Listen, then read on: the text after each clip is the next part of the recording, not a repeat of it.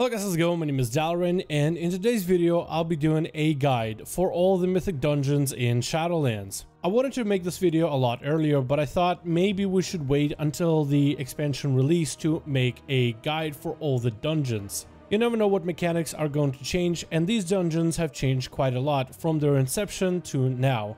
In this video, I'm going to cover all the different mechanics that every single boss in this dungeon has, and what are some of the different things you can do inside of these dungeons to make them easier when it comes to running them in Mythic in preparation for the Mythic Plus season, which releases, I believe, in about a week. I have ran these dungeons on three alts now, and I feel like I know them like the back of my hand. The mechanics for these 8 dungeons are not the craziest that I've ever seen. I feel like some of them are a step up from the BFA dungeons, but anyway, let's get into this guide for today's video. The first dungeon is known as Halls of Atonement. It is a Venthyr-centered dungeon, and in this dungeon, being Venthyr, you'll have a chance to mind control gargoyles scattered all over the place. These gargoyles give your party a little bit of a DR when it comes to taking damage, but also add extra damage themselves as their auto attacks do quite a lot, and they also come handy with good AoE damage. Being able to use these gargoyles in trash bags that are tough or against bosses is going to make a big difference.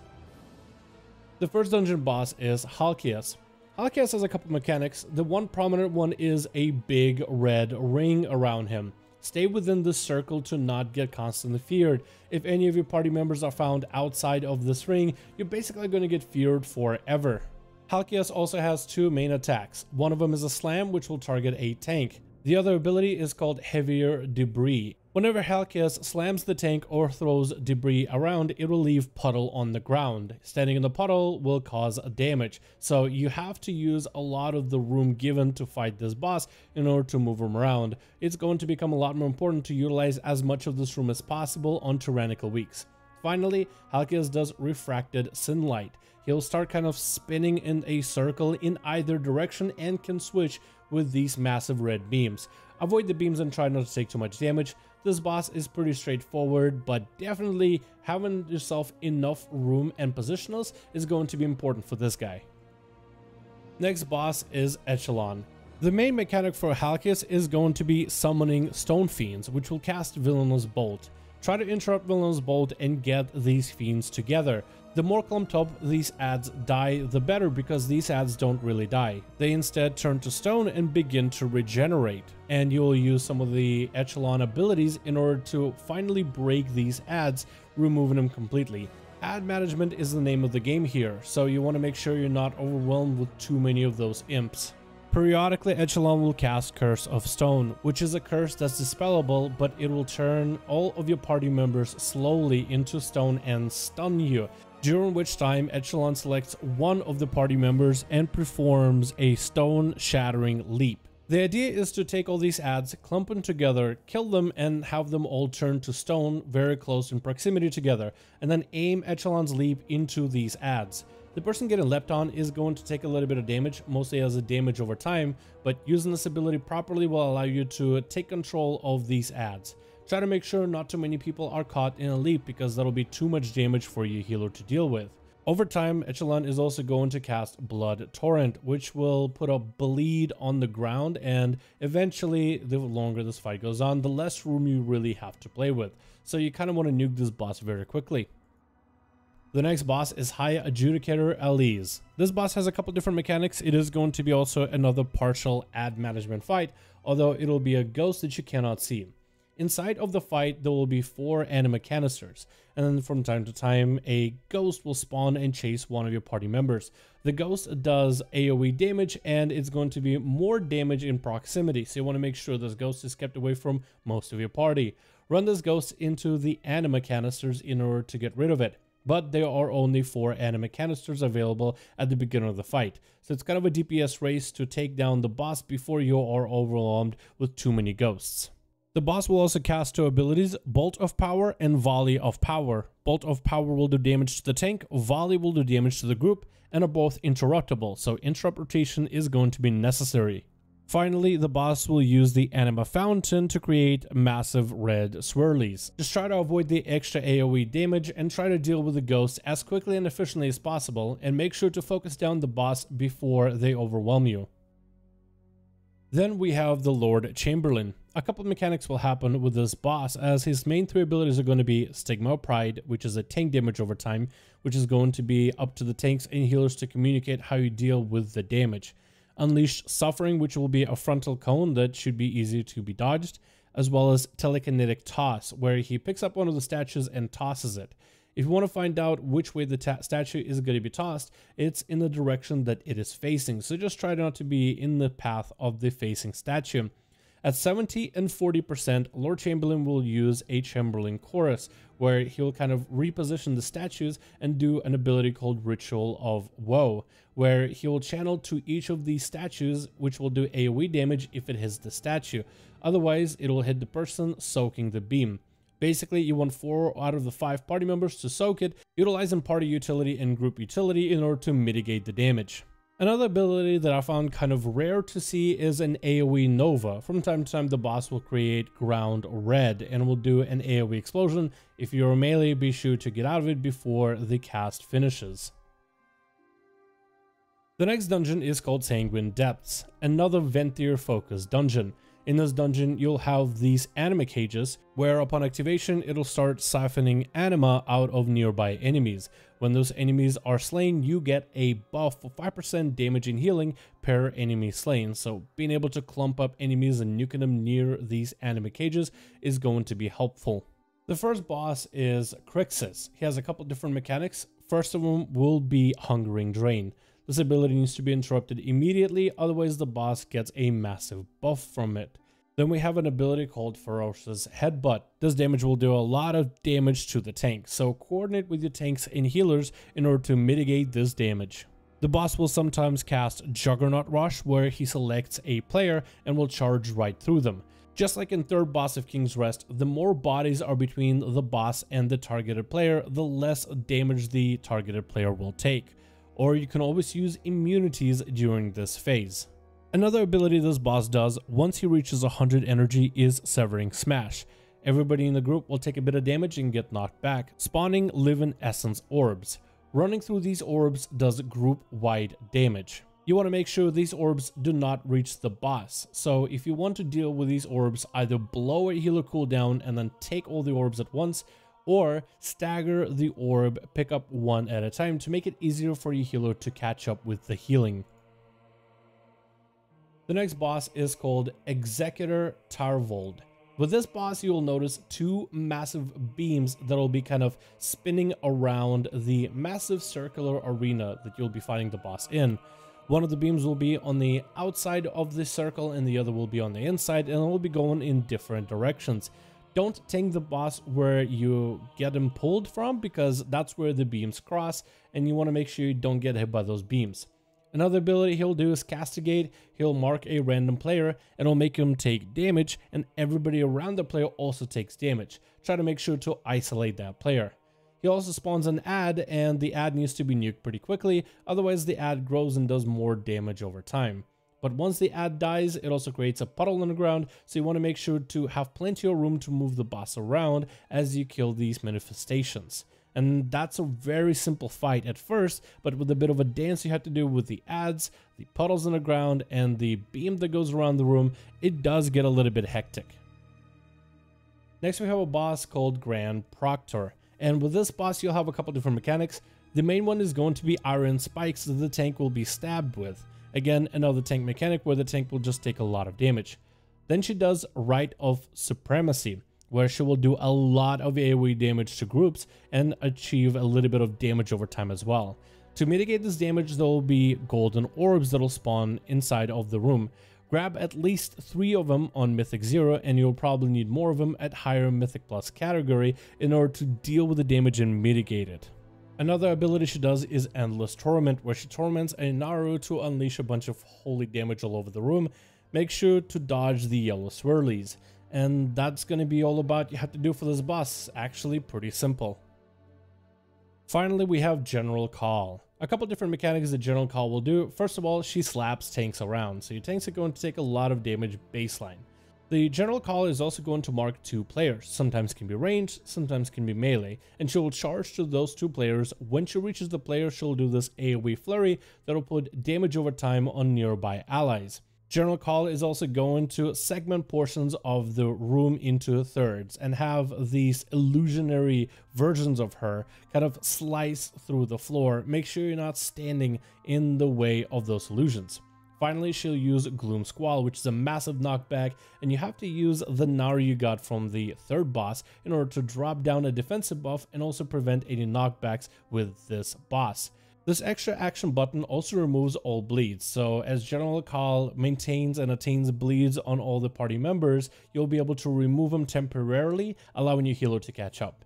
The interesting part about this boss fight is it ends when General Kaal hits 50%, so you don't actually have to kill this boss, you just have to get him low enough. The next dungeon is called Spires of Ascension. It's a Kyrian dungeon, and the Kyrian can find dead Kyrians from time to time, and interact with them to pick up a Spear of Destiny. Spear of Destiny can be used to stun enemies in an AoE area for 10 seconds, allowing you to also do 20% more damage to those enemies. The first boss is going to be Kin-Tara. Kin-Tara and her pet are bound together and they have kind of like a health link going on, so they both share health. They're both linked with this beam, and you want to make sure as a melee you don't stand between Kin-Tara and Azules the pet, because the beam does apply a damage over time ability, and you don't want to rack up more dots for your healer to have to juggle your health as well as the tanks.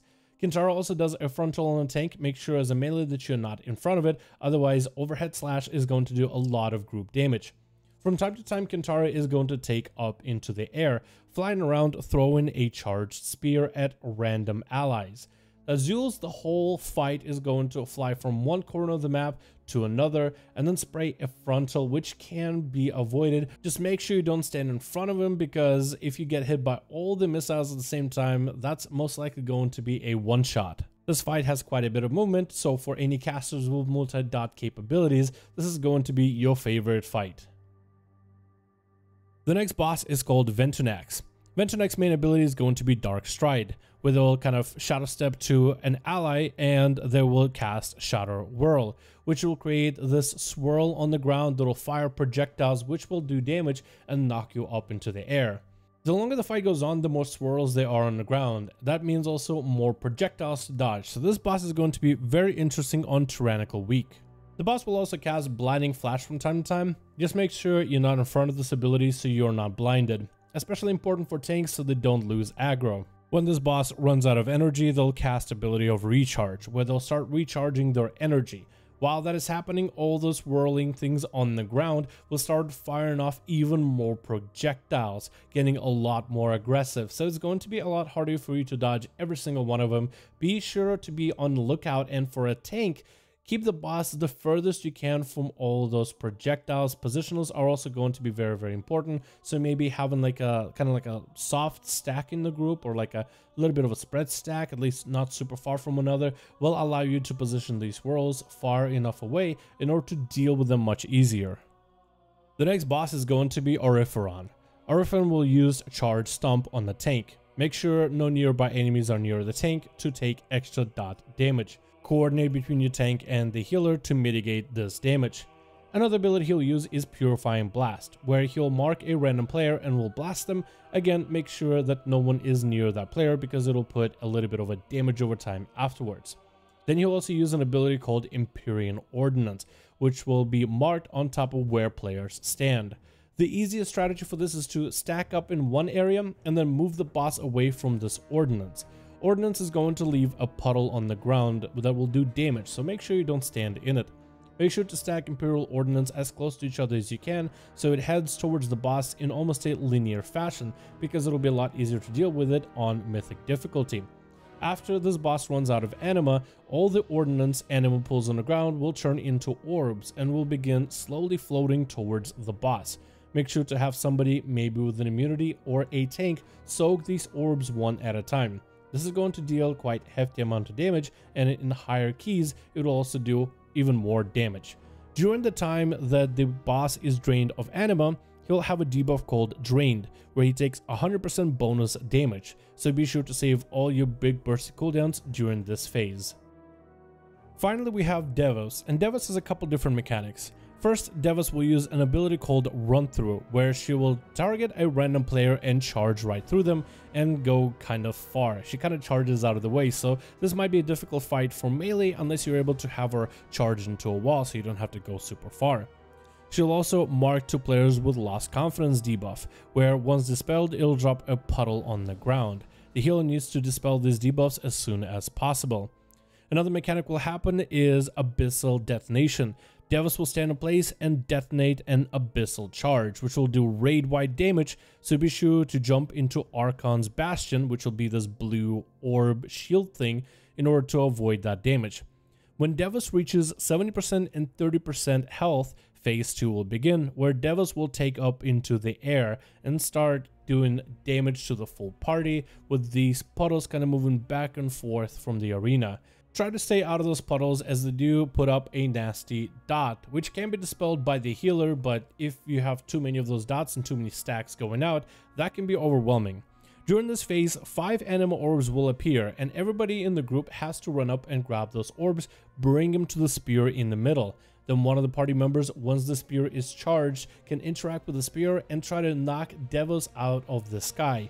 Be sure to wait until Devos stops moving before you throw the spear. This will go on until Devos is dead, and remember, you have two phases where she goes up into the air. The next dungeon is Necrotic Wake. It's a Kyrian inspired dungeon and is going to have Kyrian specific mechs, where you have to use your steward in order to resuscitate those mechs and use their anima in order to buff yourselves, giving you a buff where you do AoE damage but also AoE healing. Also throughout this dungeon are a bunch of Kyrian weapons scattered all over the place, shields, hammers, and spears. Utilizing these weapons in order to deal with trash bags and bosses is going to be something for you to think about when it comes to approaching this dungeon and making it far easier. Blightborn has two big mechanics. One of them is going to be called Heaving Retch. Heaving Retch basically makes him vomit in a direction. He'll mark a player with a green arrow above their head and will kind of retch forwards, which will spawn carrion worms that will focus on a player and will try to bite them. When the worms get 3 bites off, they will explode doing AoE damage to the raid, and this damage is permanent dot, so make sure those worms do not get their 3 bites off. When the worms die, they leave a massive puddle on the ground. The boss will also use the ability Crunch on the tank, which will do quite a bit of damage from time to time. The boss will also use the ability Fetid Gas, where the boss releases, well, a gas, but also marks off even more area where you cannot stand. Standing in the puddle of disease is going to silence you. So you have to utilize a massive, massive arena in order to kite this boss around to various places. So clearing a lot of the trash around the boss is going to be something you might want to think about. The next boss is Amarth. He'll cast Necrotic Bolt a lot at the tank. Be sure to have an interpretation in order to deal with it.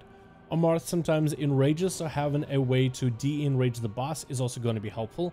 He also casts Land of the Dead, where like an Unholy Death Knight, he summons a whole army of undead, which will have mages, will have warriors, but also will have archers.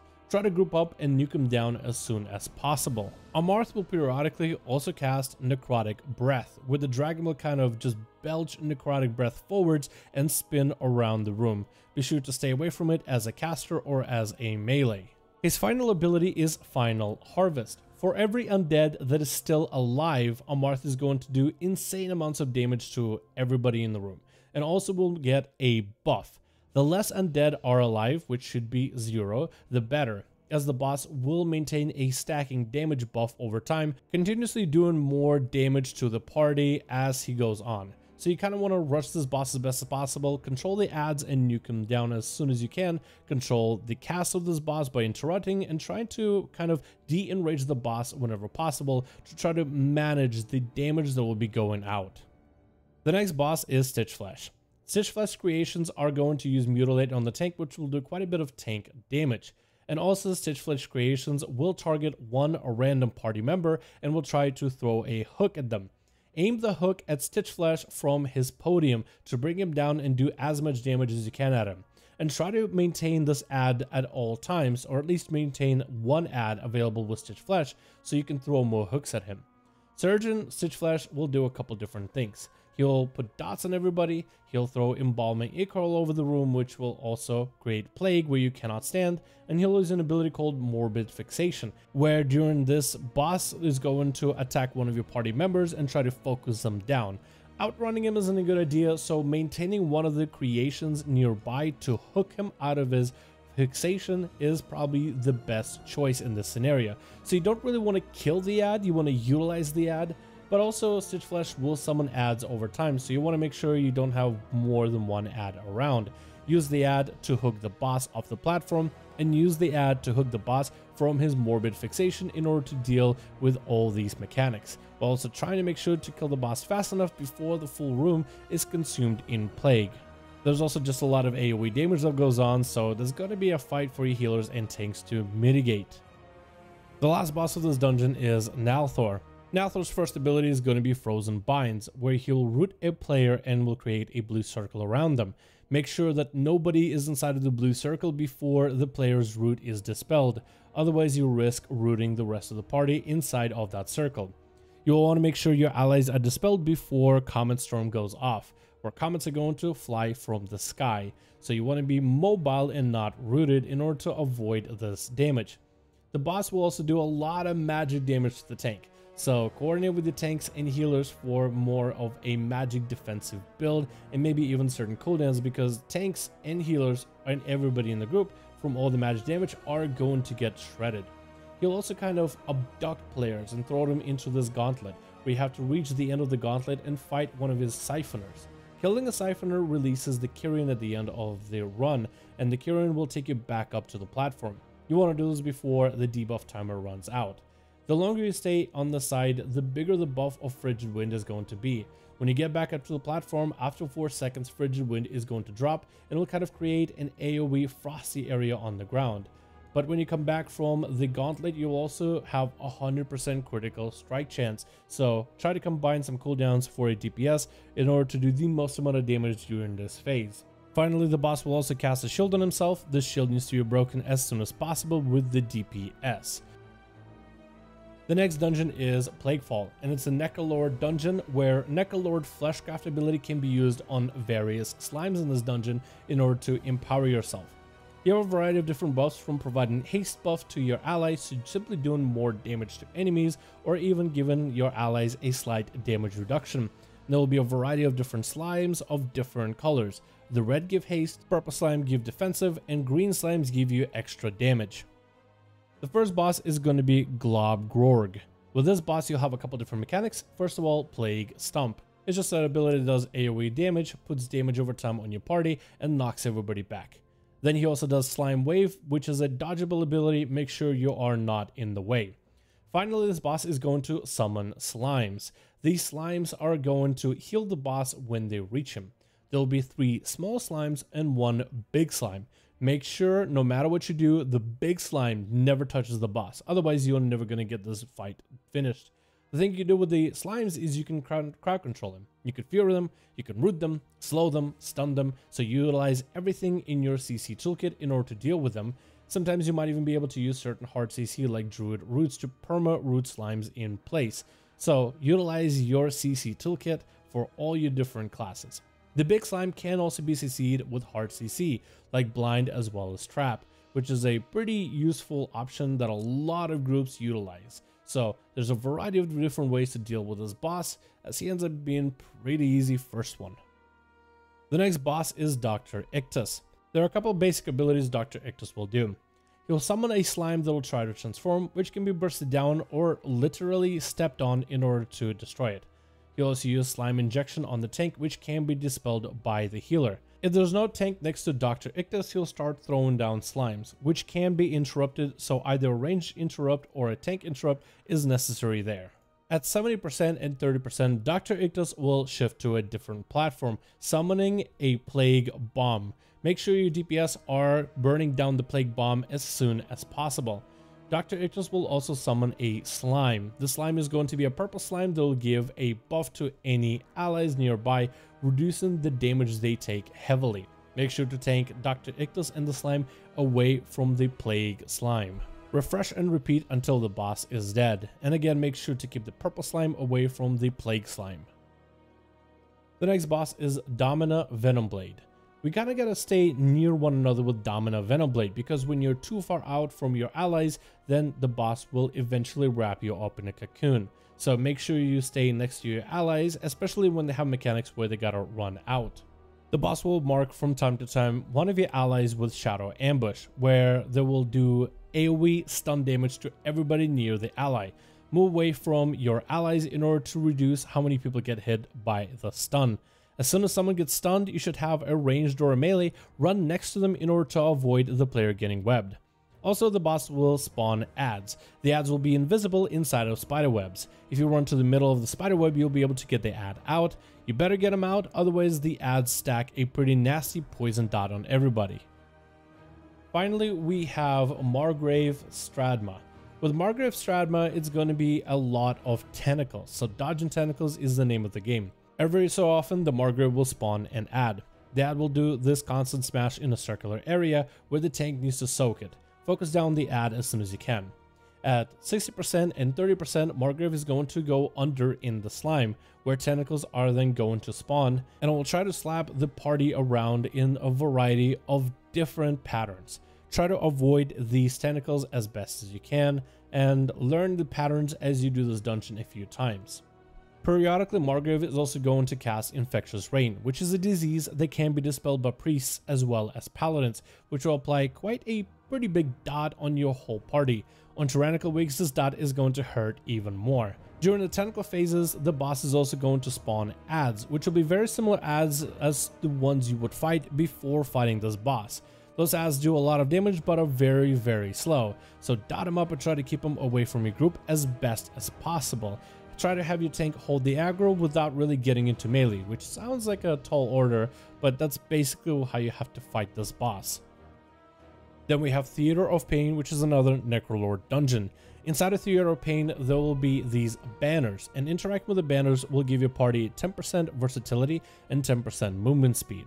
Utilize it in order to deal with trash packs and or bosses. We got three bosses in this fight. Dessia the Decapitator is going to try to decapitate the tank. They'll apply Mortal Strike with the healing reduction and slam the tank quite hard. Dessia will also put up a 30% health shield from time to time and it will need to be removed with enrage removing effects, otherwise this boss is going to truck one of your party members down.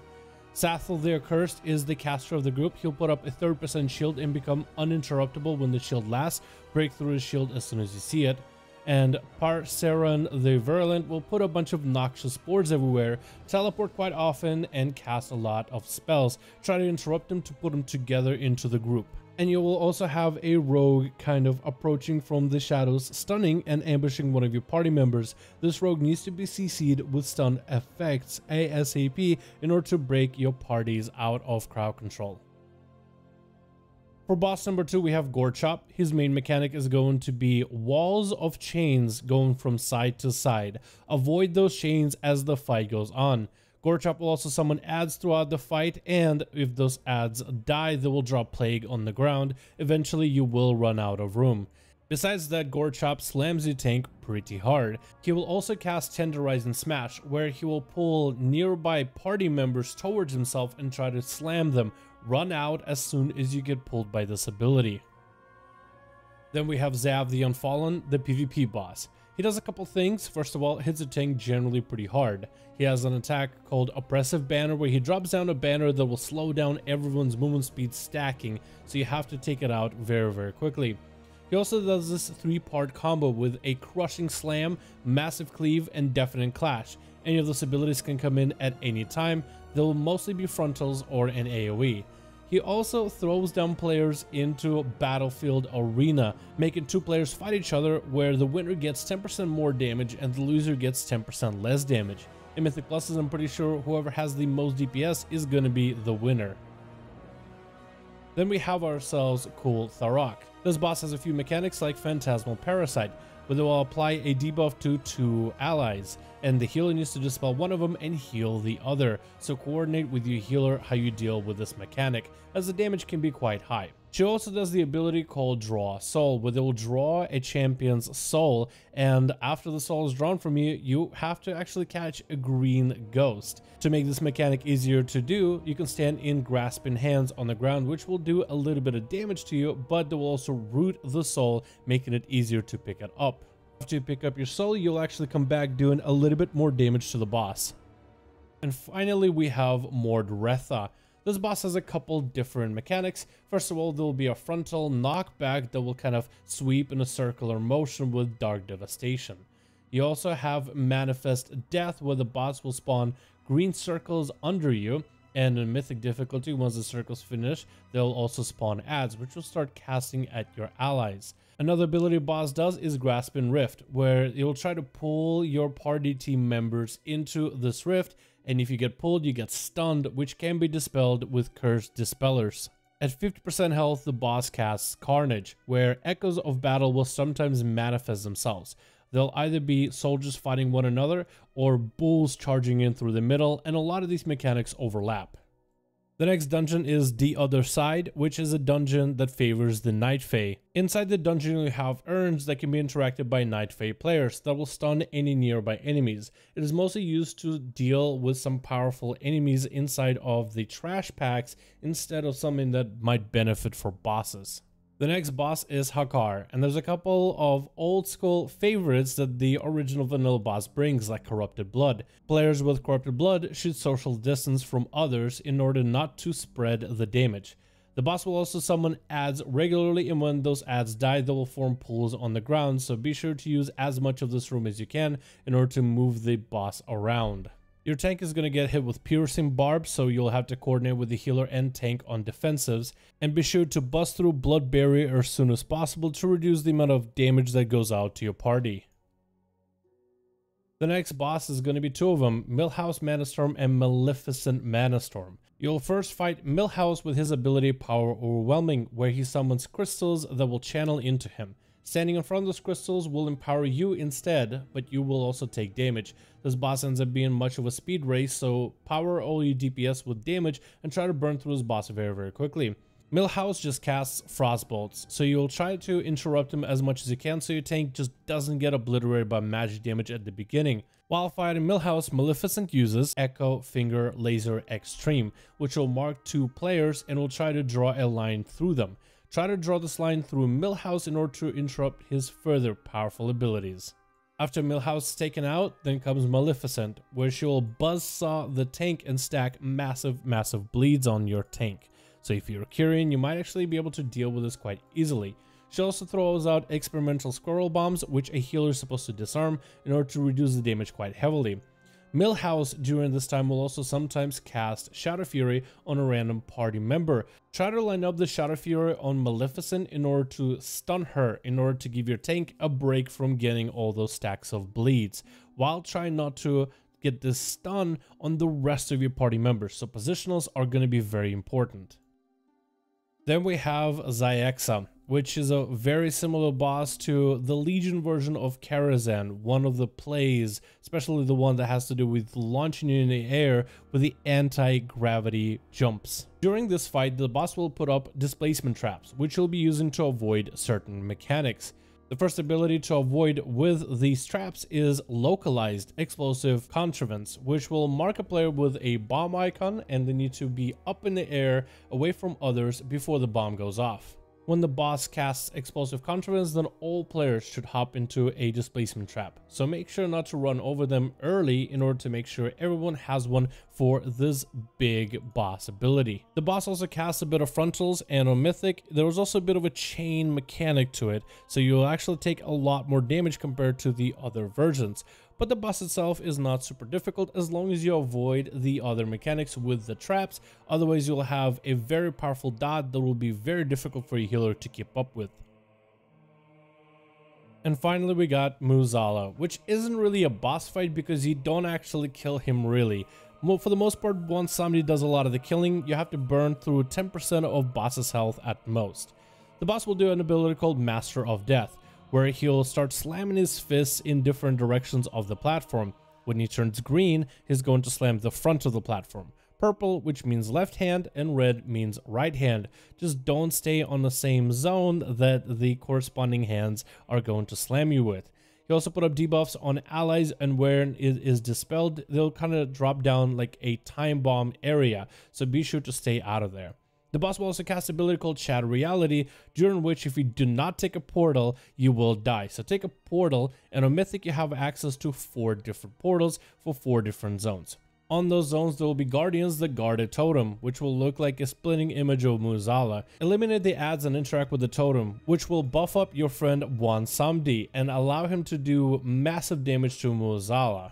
While he's blasting Mueh'zala, this gives you a massive haze buff in order to catch up on a little bit extra health damage, as your party does still need to do about 10% of this boss's health. Technically on Mythic, if everybody takes 4 different portals to next to Mueh'zala and 2 by the stairs of every platform, you could end up clearing 4 totems in a single run. So it's going to be a very interesting fight to play through. There's a lot of constant damage for your healer to deal with, and your tank is going to get slapped around by this big guy whole fight. So the faster this fight is over, the better. Lastly, we have Tir Scythe, which is another Fae dungeon. There are a couple different things that a Fae player might be able to do, like use overground roots in order to create an extra space for you to kind of skip to the next trash pack, you also have an area where you can unlock some mushrooms that can give you a stat buff, as well as a checkpoint system. This dungeon is pretty punishing on checkpoints, so if you don't have someone with a Fae, as long as you don't die, I guess then you don't get punished. The first boss is gonna be Ingra Maloch, who is a Drustvar who have enslaved a Droman and using the Droman to fight you. So it's to be like a two-ad fight. The way that this fight works is you're supposed to DPS Droman until about 20% when they break free of Ingra's control. Then Droman will turn the attention onto Ingra and put a massive debuff, allowing you to do extra damage to Ingra. This is where you will want to do massive, massive DPS. Outside of that, Droman is going to do a lot of frontals and a lot of AoE damage, so use the massive room that you are given in order to kite these two around. Ingra does have a cast that needs to be interrupted regularly, and if you fail to take out Ingra fast enough, he'll start fearing your group as well as reflecting damage back to Shadow. So take down Droman to 20% and burst down Ingra, repeat and refresh. The next fight is going to be against Mistcaller, and Mistcaller is a very interesting fight because prior to it, you'll get this puzzle game. The puzzle game will have four different icons, and you gotta figure out which one is different than the rest. The icons can either be a leaf or a flower. They can either have a circle around them or no circle, or they can be full, as in filled in, or translucent, so not full. So you got to figure out which one of these is going to be different because that will be a big player in when fighting the boss Mistcaller. When fighting Mistcaller, there are a couple of mechanics. First, there will be dodgeball where you simply just have to dodge the ball that the boss throws out. Then you have to do patty cake where the tank needs to get an interrupt on the boss, otherwise they get dazed. The boss will also, at certain health thresholds, will play the guessing game where you have to guess which one of the boss's illusions is the real one and which one is the fake one. Find the odd man out. The boss will also summon an ad from time to time to play Freeze Tag. It'll be a fox. You can CC this fox and that's what most people do. So that's basically the whole fight. It's a lot of kind of guessing or playing games with them, patty cakes, and trying to avoid the foxes that freeze you. And it's a very, very simple fight. Then we have G'huun 2.0, otherwise known as Tred'ova. Tread Over has a couple different mechanics. First of all, it's going to use a Devour ability when his health drops low, and he's going to do that twice. While that is happening, a lot of arcane AoE damage is going to be going out, so do a bit of a dance and try to avoid the boss. Try to make sure you get the interrupt before the Devour is over, and you also need to break through the shield that allows him to devour the Cocoon of Lakali. Another mechanic is going to be his spits. The more the boss devours, the smarter the boss will get. So at first he'll try to spit where you stand, then he'll try to spit where you last stood, and then the boss will start guessing so there'll be a lot more green on the ground. Use this massive room for this boss to move him around.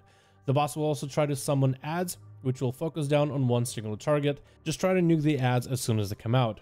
The boss also needs an interrupt rotation, otherwise they send out parasites, which will create mind control mechanics. You don't really want to deal with the mind control mechanics to begin with, so make sure you have a kick order. And that's going to be all the dungeons. I know this is a very long video, but I wanted to make sure I gave you guys a proper guide for all the dungeons and all the important mechanics that you should watch out for. I've done these dungeons like on three characters so far, and they are actually all very, very enjoyable. I think Shadowlands dungeons, compared to BFA at least, are looking very, very fresh.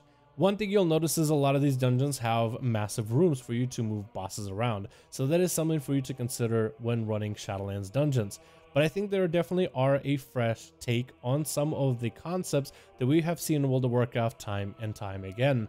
Super excited to try these dungeons out in Mythic Pluses with all the different affixes. But anyway guys, thank you so much for checking out this video. I do hope you guys enjoyed. Let me know your thoughts about this guide and I'll see all of you in the next one.